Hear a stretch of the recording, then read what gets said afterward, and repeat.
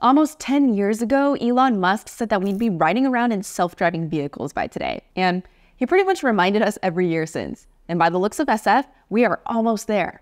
Or are we? This year, autonomous vehicle companies like Cruise got the green light to expand their commercial robotaxi services across San Francisco 24 7. But not without some major challenges. Just after their incremental rollout in August, a robotaxi collided with a fire truck. One got stuck in wet concrete and they had to get dragged out. They lost connectivity during an SF festival and caused standstill traffic in the busy North Beach area. So, what gives? What happened to the self driving cars progress we expected? We're going to cover in this video who the biggest players are, the tech that powers autonomous driving, who's funding the industry, and some of the major roadblocks companies still face. So, buckle up.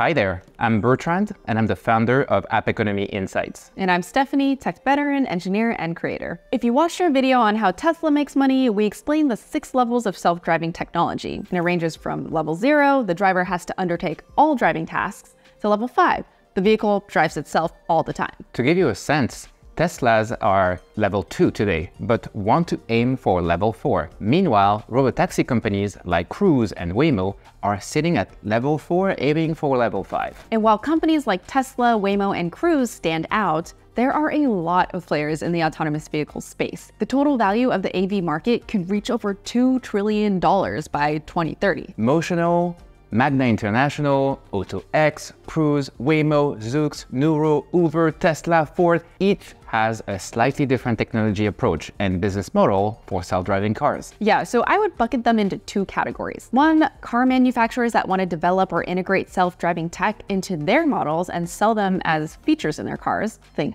Ford and Tesla, or two, companies that are developing proprietary AV tech to develop robo-taxis or freight vehicles, or ones that sell the tech to car manufacturers. Think Cruise, Waymo, Zoox, Aurora Innovation, and Momenta. And don't forget Tesla's robo-taxi idea.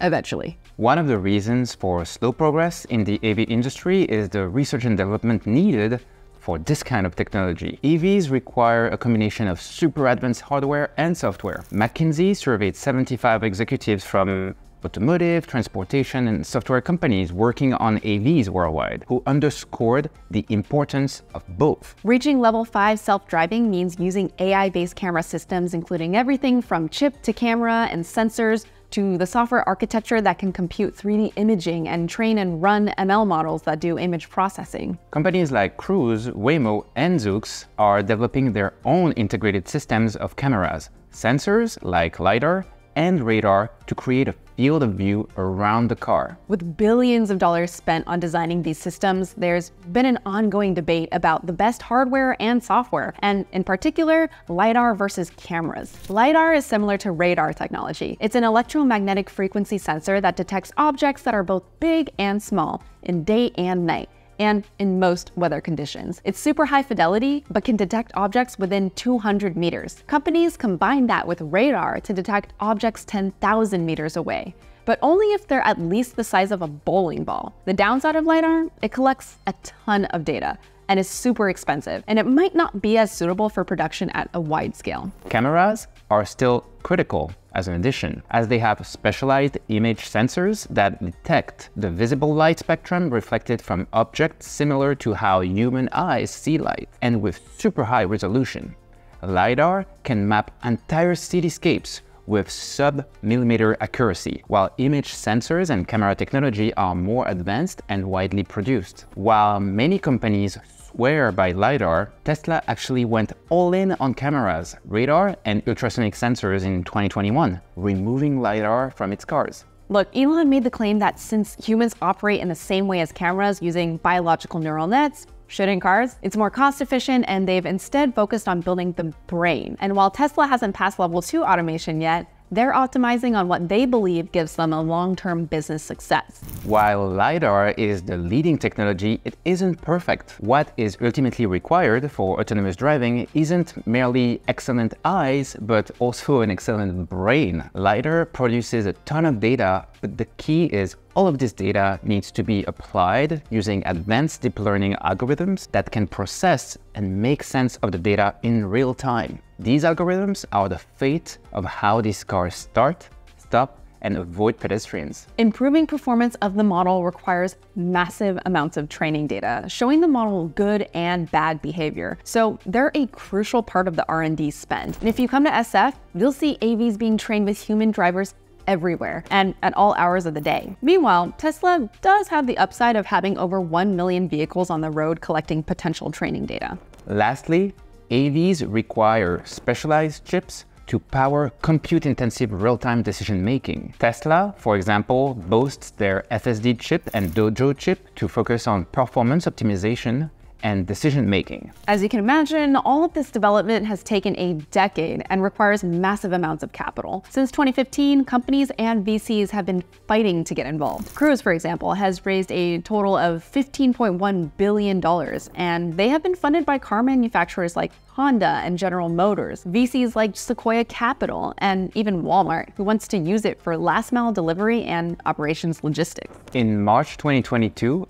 big time car manufacturer General Motors bought out SoftBank's stake in Cruise for $2.1 billion.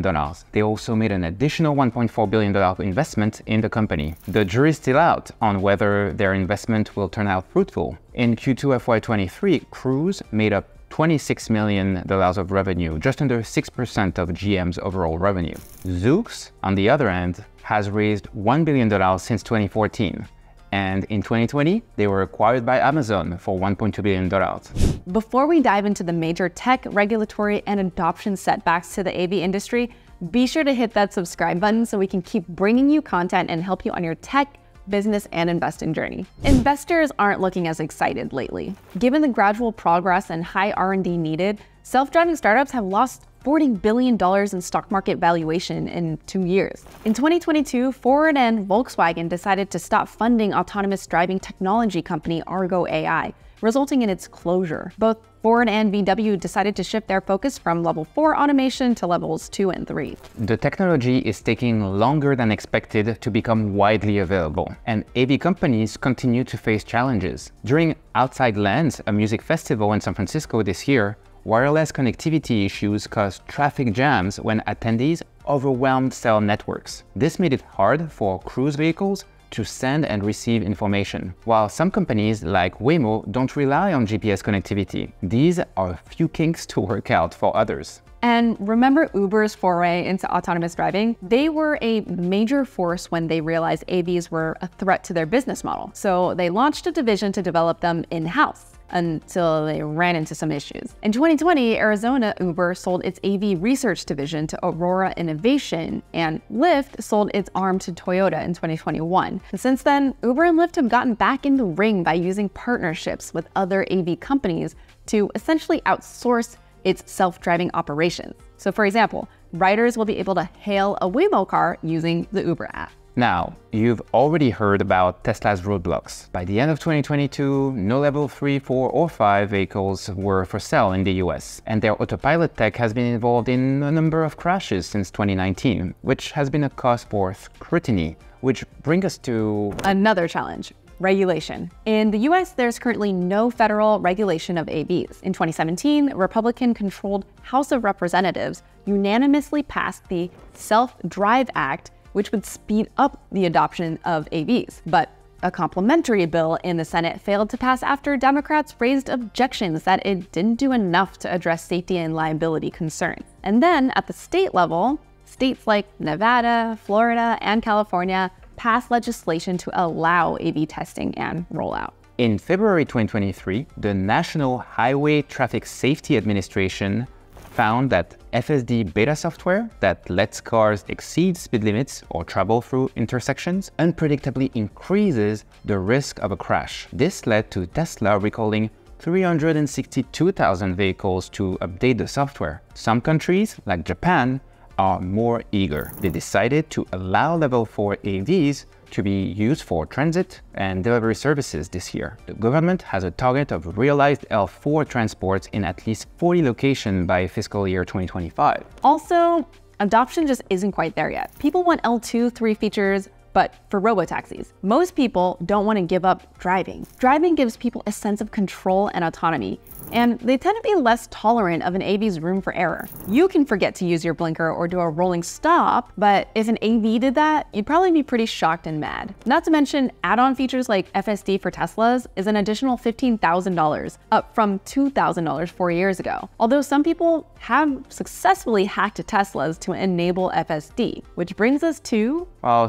cybersecurity threats. One of the major concerns from government aside from safety is cybersecurity. With any internet-connected device with heavy reliance on a complex network of software and hardware, AVs are susceptible to cyber threats. Hackers can control vehicle functions through remote hacking. They can exploit a software vulnerability to do vehicle spoofing or trick the vehicle into thinking it's in a different scenario or location. And they might be able to extract personal data, like behavior patterns. By injecting ransomware or tampering with sensor data, they can cause accidents and increase the chance of vehicle theft. In 2015, for example, a Jeep Cherokee was hacked by researchers from IOActive Inc., a company that provides cybersecurity solutions. The car was hacked using the entertainment system that was connected to the internet. But like any software or hardware company, vulnerabilities are gonna exist, and companies have to take a proactive measure to protect against threats at every layer of the tech stack. So, what's next?